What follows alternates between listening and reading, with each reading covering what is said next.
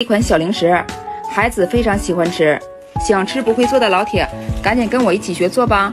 大碗中打入两颗鸡蛋，加四十克白糖，五十克食用油，用筷子充分的搅拌均匀，再加入三百克普通面粉，再来两克小苏打，用筷子搅成絮状，和成光滑不粘手的面团。醒面十分钟，醒好的面不用揉，直接擀成大大薄饼，再用刷子刷一层水，再撒上白芝麻，再用擀面棍按直。再拉成长条，然后用刀再像视频这样切四刀，拉断，全部这样做好。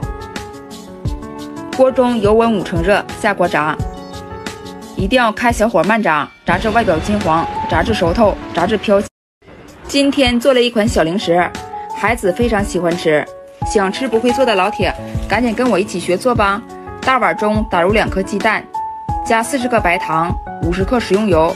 用筷子充分的搅拌均匀，再加入三百克普通面粉，再来两克小苏打，用筷子搅成絮状，和成光滑不粘手的面团。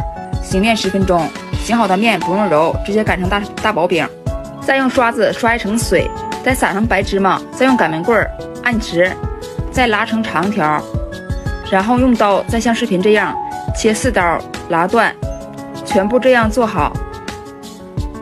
锅中油温五成热，下锅炸，一定要开小火慢炸，炸至外表金黄，炸至熟透，炸至飘。